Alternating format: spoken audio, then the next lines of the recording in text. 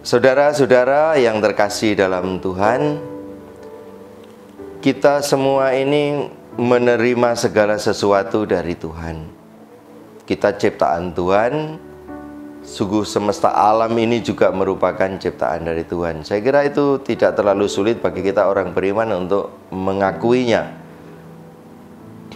Nah, ada yang disebut sebetulnya sebagai satu peristiwa-peristiwa yang terjadi dalam hidup seseorang, hidup kita, yang biasanya kita sadari, kita anggap, atau kita tempatkan sebagai peristiwa-peristiwa penting.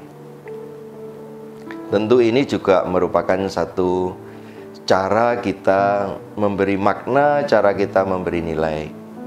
Kita memberikan semacam apresiasi pada sesuatu. Nah, saudara-saudari sekalian, dalam Injil hari ini, Tuhan Yesus itu menyembuhkan orang pada hari Sabat. Ada mujizat di hari Sabat. Dalam Injil Lukas bab 6 ayat 6 sampai dengan 11, Tuhan Yesus menyembuhkan orang yang sedang sakit pada hari Sabat. Dan ternyata dalam kebiasaan yang dihadapi oleh Tuhan Yesus menyembuhkan orang di hari Sabat itu pun merupakan sesuatu yang tidak tepat, bahkan dikatakan salah. Nah, makanya ketika Tuhan Yesus menghadapi orang yang berpikiran seperti itu, Tuhan Yesus bertanya, "Mana yang diperbolehkan orang pada hari Sabat, berbuat baik atau berbuat jahat?" Tentu jawabannya dengan mudah ya berbuat baik. Nah, masalahnya melakukan itu dianggap melanggar hukum Taurat. Nah, Bapak Ibu Saudara sekalian terkasih, terlepas dari persoalan Tuhan Yesus menyembuhkan orang yang kemudian dikatakan ya itulah anugerah imannya atau itu anugerah dari kebaikan Tuhan. Saya ingin mengajak Anda untuk sedikit menengok yang sebetulnya disebut dengan penyelenggaraan ilahi, divine mercy, divine providence. Sebetulnya keutamaan ini percaya atau menyerahkan diri kepada penyelenggaraan ilahi yang merupakan keutamaan iman. Tentu saja ini merupakan bagian yang kita sendiri harus memupuk ya memasukkan di dalam penghayatan iman kita saya ingin mengajak Anda untuk melihat satu mujizat atau peristiwa-peristiwa yang dialami seseorang itu sering kali dikatakan wah ini kehendak Tuhan. Atau peristiwa itu baik, ya kehendak Tuhan kita dapat berkat. Ada peristiwa yang tidak baik, itu juga kehendaknya Tuhan. Misalnya saja kita mendapatkan peristiwa yang tidak mengenakan, sakit, berduka, dan lain sebagainya. Penyelenggaraan ilahi atau divine providence ini sesungguhnya merupakan bagian dari cara kita untuk memahami dan menghayati relasi kita dengan Tuhan. Mata saya ini bahwa sejak kecil sejak saya lahir sampai sekarang ini bisa saya pakai untuk melihat. Saya tidak pernah memintanya terus-menerus sekali waktu saja saya menyadari saya juga tidak me menghendakinya itu menjadi kesadaran terus-menerus.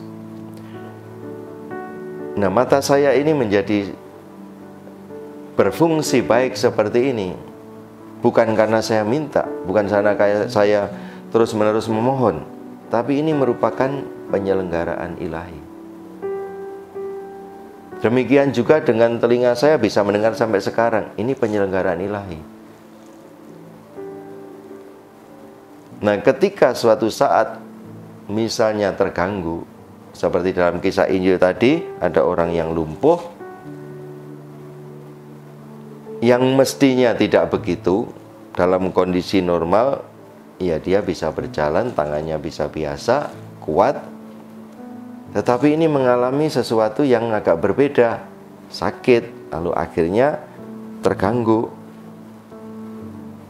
Nah, ketika terjadi berhadapan dengan kekuatan ilahi, berhadapan dengan Tuhan Yesus, orang yang sakit ini menjadi sembuh. Nah, inilah yang disebut sebetulnya mujizat. Kita tentu tidak disalahkan kalau kita mengharapkan mujizat. Kalau kita bertanya siapa ingin mendapatkan mujizat, so, semua orang saya kira dengan mudahnya mengangkat tangan. Tapi sesungguhnya itu hanya sekali peristiwa biasanya dalam rentang waktu di mana kita sebetulnya dalam penyelenggaraan ilahi sudah punya, hanya terganggu sebentar. Maka kita seharusnya lebih mengajak, menghayati bahwa penyelenggaraan ilahi inilah yang sebetulnya menjadi bagian dari iman kita. Kita mestinya mudah menerima yang disebut dengan penyelenggaraan ilahi. Maka Bapak Ibu sekalian yang dikasih kita perlu untuk menghayati ini sebagai bagian dari iman kita.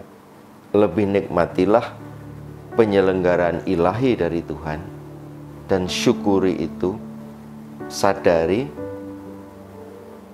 lebih daripada sekedar kita mengharapkan suatu mujizat. Karena orang kalau sudah bisa melihat seperti saya ini, saya tidak memerlukan mujizat dan inilah penyelenggaraan ilahi. Rahmat dan berkat Tuhan jauh lebih terus-menerus tersedia tanpa diminta, yaitu namanya penyelenggaraan ilahi. Tapi sesuatu yang sifatnya mujizat itu kadang-kadang perlu diminta, kadang-kadang buah dari iman atau mujizat itu membangun iman kita. Tidak ada salahnya orang mengharapkan menerima mujizat karena itu juga berkat Tuhan. Tetapi yang jauh lebih penting bagi kita sebagai orang beriman, kita menikmati, menghayati, meyakini tentang penyelenggaraan ilahi yang Tuhan selenggarakan bagi kita. Amin. Aku